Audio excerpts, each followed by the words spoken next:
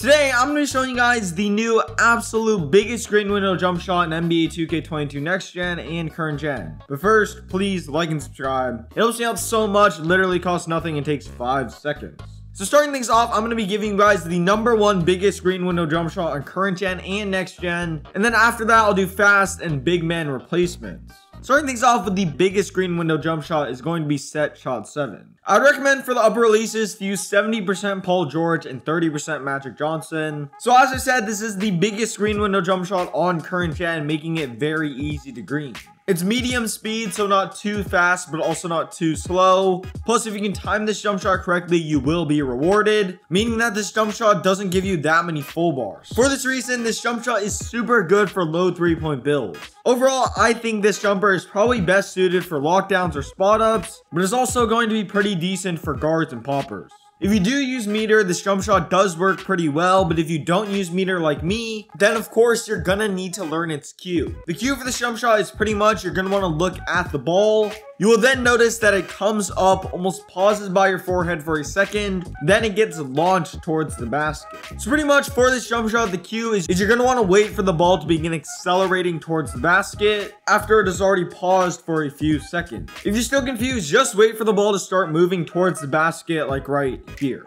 You guys can see and will see all my cues are actually before he releases the ball. Because if you're playing Park, there's a little bit of delay and you need to take that into account. So yeah, that was the number one biggest green window jump shot on current gen, and now we're going to be talking about the biggest green window jump shot on next gen. For this jump shot on next gen, the base is going to be 73. I would recommend equipping 50% 62 and 50% Paul George, because these, in my opinion, give the easiest cue. However, this base 73 jump shot, as I said, has the absolute biggest green window jump shot out of all usable jumpers. This is not necessarily, in my opinion, the best jump shot, but it definitely does have the biggest green window. This jumper is kind kind of slow, but I will show you guys a fast jump shot a little bit later. And additionally, it's not the prettiest jump shot in the world or the smoothest. One positive thing that I will say about this jump shot is that it's super good for high delay, which means if you play on a TV or live far from a server, this could be a very good option for you. Now for the cue of this jump shot is going to be very, very similar to the previous jump shot, but you're going to want to look at the ball and wait for it to begin to move vertically. Once you see the ball begin to move vertically, release square like right here. Both jump shots that I just gave you guys are on the slower side of things which I know some people just cannot stand. So if you want a fast jump shot instead and you are on current gen, then I'd recommend using base 15, release one 60% Paul George, or release two Kevin Durant. I only recently started using this jump shot and it's very good. Of course, it has a massive green window and its green window is actually only slightly smaller than set shot 7, but it's also one of the fastest jump shots in the game. Additionally, it's pretty versatile, it's going to be good on all builds, and it's very, very smooth. The cue for this jump shot is going to be this. As you know previously, I told you guys to wait for the ball to begin to accelerate. However, what you're going to want to do instead is wait for the ball to come fully backward. Once you see the ball has come back all the way, you're going to want to release square like right here. On next gen, if you want a fast jump shot that also has a massive green window, then you're going to want to use base Derrick Rose. I'd recommend using 65% release 161 and 35% Kobe Bryant.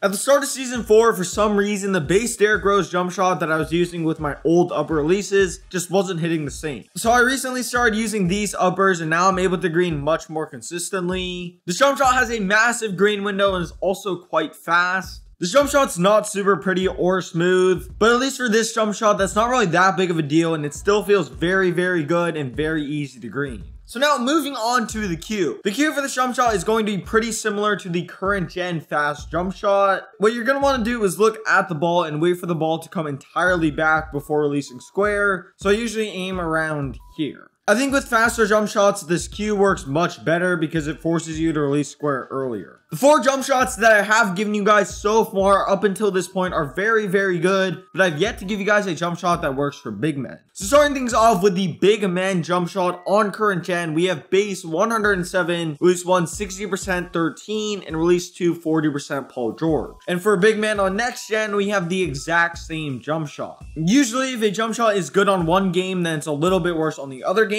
Before this jump shot, it's just super good on both games. Of course, this base 107 jump shot works for taller than 6 foot 10 players. And on both games, this jump shot has an absolutely massive green window and has one of the biggest green windows for big men on both games.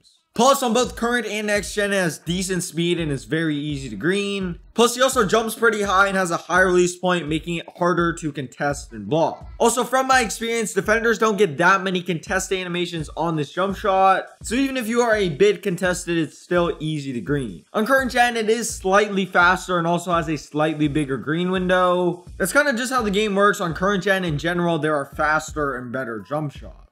Additionally, this jumper is super good with meter. Obviously, I don't use meter, but I have a friend that does, and this is his personal jump shot. However, for those of you who don't use meter, you have two cues you can use. The first cue is you can look at your player's feet and wait for him to get to his apex. Once he does get near or at his apex, you can really square like right here. And the second cue and the cue I personally use is you're want to wait until you see your player's wrist snap like right here. Overall, I just gave you guys the absolute biggest green window jump shot on both current and next gen, as well as big man and fast variation. If you did enjoy the video or found it helpful, drop me a like and subscribe to the channel. There's a gameplay video, a dribble tutorial, and dribble moves on the screen right now. Like, comment, subscribe, go follow me on Twitter, and I'm out. Peace.